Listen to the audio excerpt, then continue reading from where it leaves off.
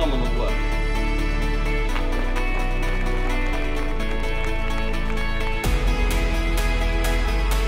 This year's design show has been great. It's uh, been a showcase for some really good student projects. It's the fourth time I've judged the design show and it gets better and better every year.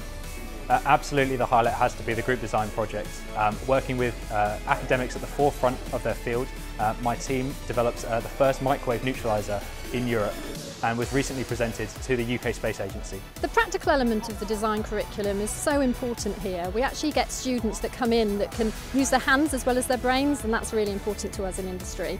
So the heart of my course has really been my final year design project.